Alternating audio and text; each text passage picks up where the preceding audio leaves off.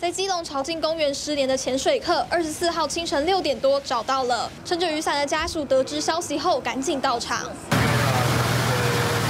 二十三号下午四点多，一名二十四岁的周姓男子到基隆朝境公园防波堤外潜水捕鱼，没想到之后家属却迟迟联系不上人。到了晚间七点多，家人到现场只看到周姓男子的机车，却没看到人的踪影，连忙报警求助。搜救人员在海面上不断寻找，甚至派出空拍机扩大搜索，一直到今天清晨六点二十分，在忘忧谷岸际发现一名明显身亡的男子浮在海面上，而他就是失联的潜水客。本署人员于现场寻或失踪者大体。本案接续由基隆市警察局第二分局八斗子分驻所报请基隆地检署办理相验事宜。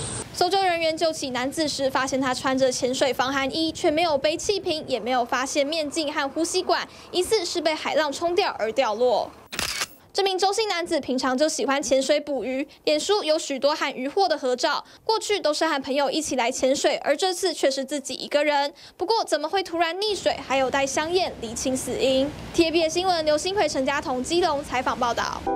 想看最完整的新闻内容，记得下载 TVBS 新闻网 APP。